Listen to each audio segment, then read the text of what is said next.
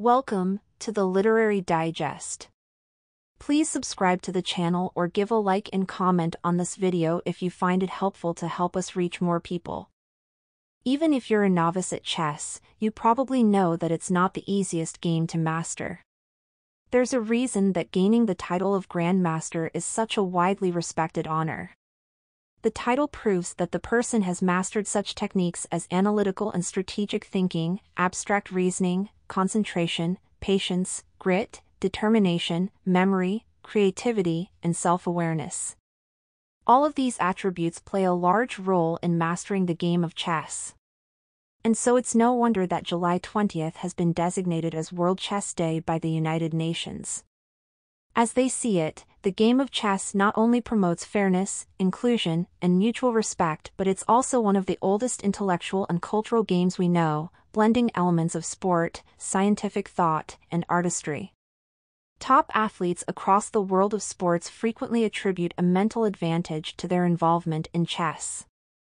All of this adds up to a clear message, we can learn a lot from this centuries-old board game. And in the four sections that follow, we'll do just that. Chapter 1 A Life of Continuous Improvement with over 605 million enthusiasts worldwide, chess isn't just a game, it's also a profound teacher of life's most essential skills. One of the first lessons it can teach us is the importance of embracing a childlike curiosity. Age and experience can provide wisdom, but only if you let them. One of the pitfalls of gaining experience is that the things that once inspired and delighted us can begin to lose their luster over time. As we spend years becoming masters of our craft, we can start to feel like it all becomes more of the same. That's why, even as your mastery grows, it's vital to long-term success that you maintain a level of wonder and fascination for what you do. The most elite performers are well aware of the power of nurturing a childlike wonder. To remain on top, we have to keep that spark alive. Mikhail Tal was the eighth world chess champion. He found inspiration by going back to the beginning and taking beginner's chess classes. Tiger Woods also understood the power of adopting a beginner's mindset to unlock new possibilities. When he was at the very top of his game, he went back to basics, deconstructing his swing and building it back up from the ground up. This is something that has been understood for quite some time. There's even a Zen parable about a master and his student. When pouring the student tea, the master lets the cup overflow until it is spilling onto the ground. The point being, you can't grow if your mind is full of preconceptions and you think you know it all. And make no mistake, learning is a lifelong process. Before we go any further, let's debunk an unhelpful myth. Many are under the mistaken belief that the great chess players can see dozens of steps ahead. But nothing could be further from the truth. Chess is far too complex. There are too many possible moves. In fact, there are more potential moves than atoms in the observable universe. So it would be utterly futile for a player to try to predict how a game will unfold. Instead, we should be more like Magnus Carlsen, the 2013 World Chess Champion, who is all about finding ways to adapt. Flexibility is the real hallmark of an elite performer. And there are few games that are better than chess at showing how we can demonstrate flexibility in the face of complexity. Learning in chess, as in life, demands continual adaptation. Chess isn't about memorization or calculation. It's about intuition and understanding and embracing the complexity. In that way, a great chess player is like an improvisational jazz musician. They understand their craft in such a well-rounded way that they can instinctively pivot in any direction at a moment's notice. This is what makes Carlsen such a great champion. As another player puts it, whatever situation you drop him in, his promptness to react is brilliant. He might come in with a game plan, but if that strategy isn't working, he'll quickly shift into a new plan. Flexibility is a challenging trait to nurture, but it's one of the best strengths we can develop. Chess also points us toward strategies for developing other talents. In particular, we have the method of disaggregated learning. This is the strategy of breaking down all aspects of the game into isolated, manageable parts. Sometimes these parts aren't even in the game you're training for.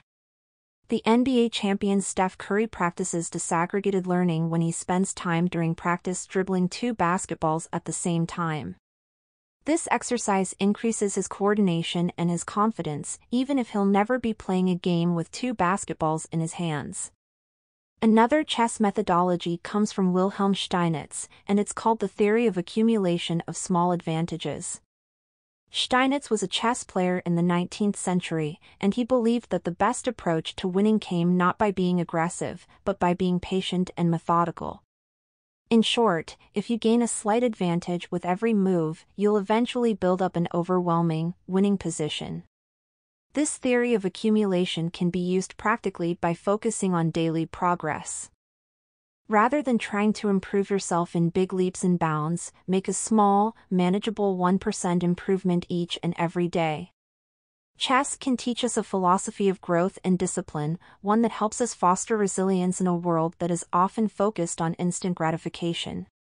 True wisdom lies in knowing that there is more to learn, no matter if you're an amateur player or a grandmaster. Chapter 2 Learning from Loss Whether you're playing chess, tennis, football, or any other game of skill, one of the greatest lessons you can learn is that of sustaining focus.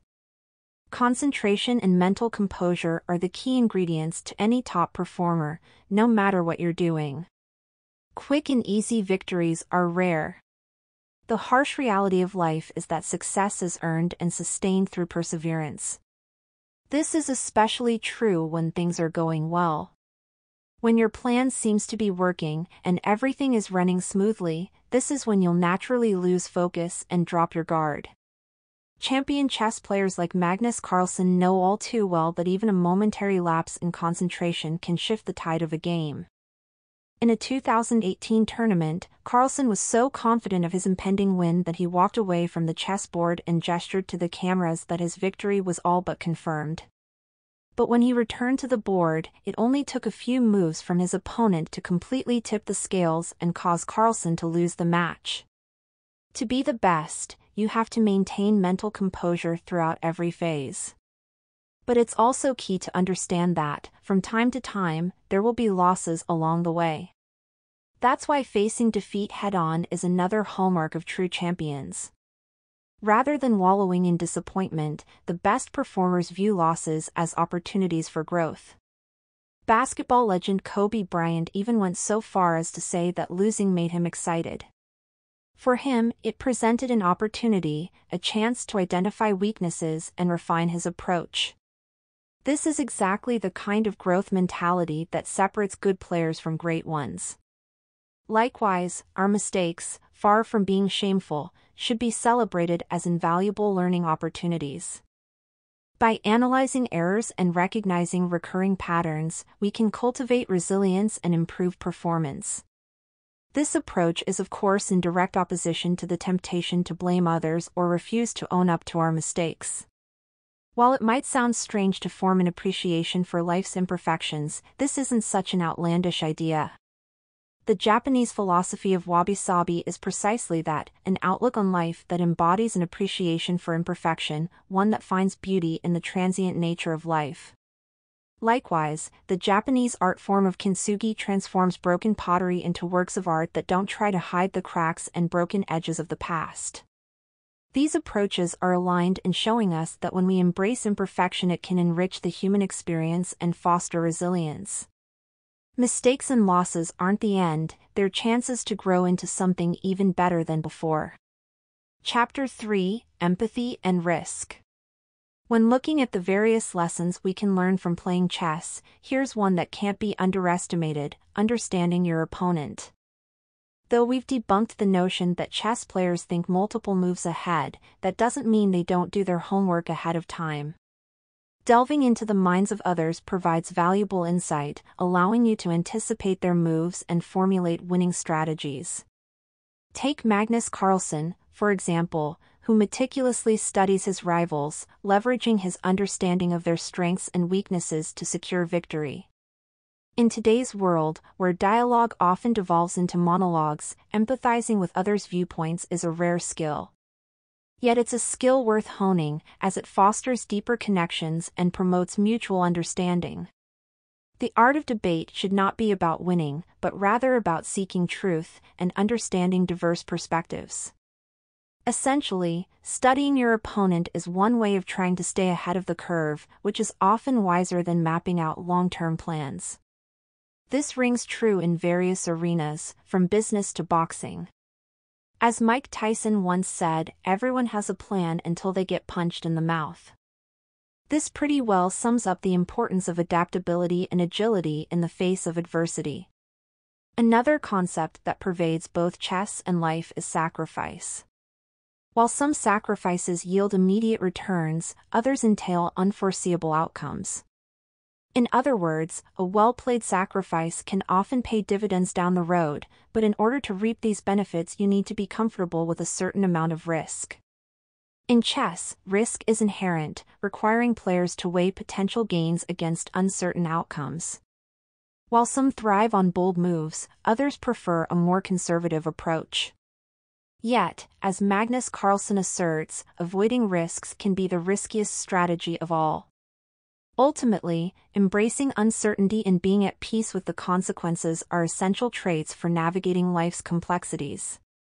Taking chances doesn't guarantee success, but it offers the opportunity for growth and discovery.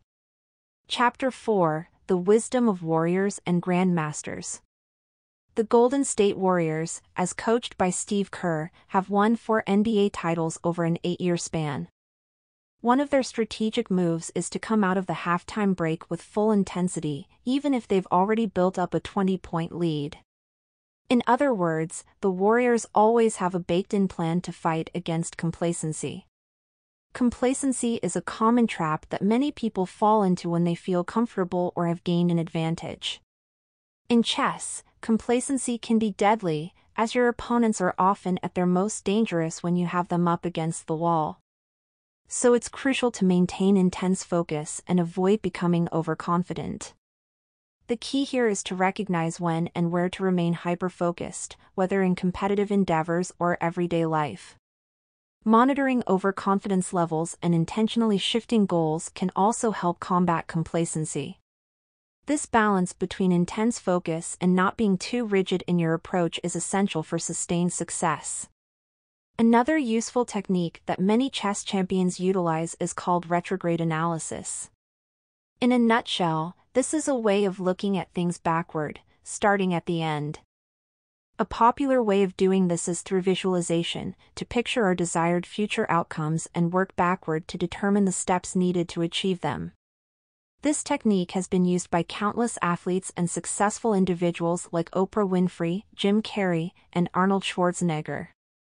The effectiveness of visualization emphasizes the power of mindset in influencing present behavior. By viewing the future as inevitable, it can act as a springboard for change. We can then get down to the business of addressing past issues and motivating ourselves to improve our lives in the present. This leads us to our last bit of advice to go ahead and start being the person you want to become. In 1998, the author lost an important chess tournament. This one stung more than usual because at the time he was close to his goal of achieving the title of Grandmaster and the loss set him back a bit.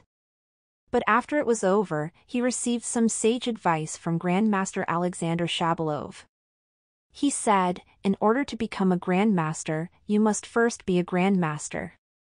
Shabalov was basically telling him why he'd lost his match.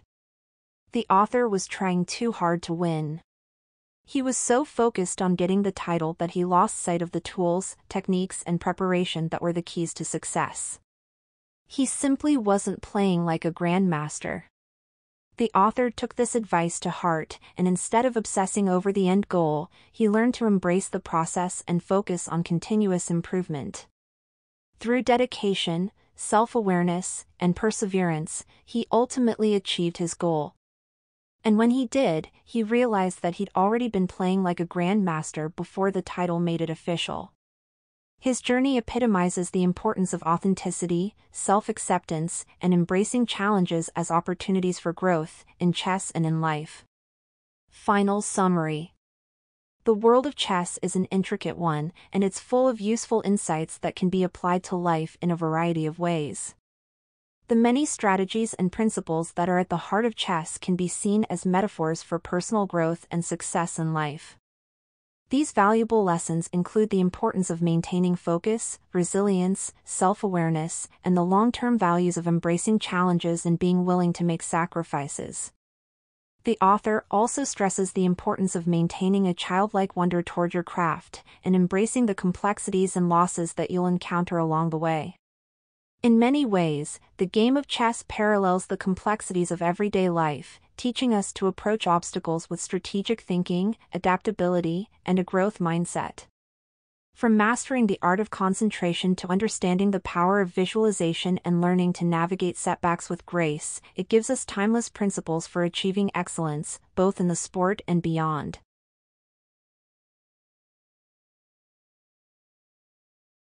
Thanks for listening. If you enjoyed this, please like and subscribe to the Literary Digest for more videos like this one. And don't forget to leave a comment below and let us know what you found most helpful. Until next time, keep striving for success.